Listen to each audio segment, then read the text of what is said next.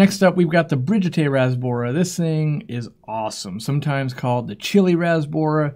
Only gets about that inch again, fire red once they're colored up. When they're young, they're not colored up yet, so when you see them in a store, you're just like, who would buy that fish? It's $4. It doesn't even look cool. Now these guys, yeah, minimum six, but 10 or more really, the bigger the group, because they, they're a slender fish.